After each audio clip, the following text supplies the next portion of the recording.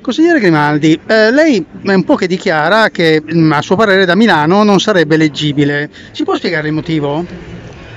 La vicenda è abbastanza semplice. Noi a giugno abbiamo chiesto al signor da Milano di dimettersi dalla carica di presidente di Film Commission perché era stata ufficializzata la sua candidatura e ci sembrava davvero inopportuno che lui continuasse a svolgere le funzioni di rappresentanza. Lui diceva scherzando che aveva fatto la palestra grazie a quella nomina e noi gli dicevamo che eh, la palestra gratis era finita e che ormai aveva un compito politico politico.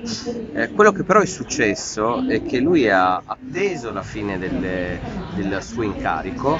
non capendo e non conoscendo probabilmente una, una regola che è scritta non solo eh, nelle leggi che in qualche modo ricordano le incompatibilità, ma anche in tante sentenze, cioè lui non si è mai dimesso da quella carica e non ha mai neanche chiesto alla Regione Piemonte di eh, mettere nero su bianco che il suo incarico era finito, ma non solo, ha continuato a lavorare anche nei giorni successivi di proroga, ha continuato a scrivere protocolli e anche a presentarsi in giro come presidente Film Commission. Se oggi guardate sui siti è ancora lui il presidente, quindi la cosa più grave eh, non è tanto quello che è successo, è la sciatteria e l'arroganza e anche che se mai fosse eletto rischierebbe di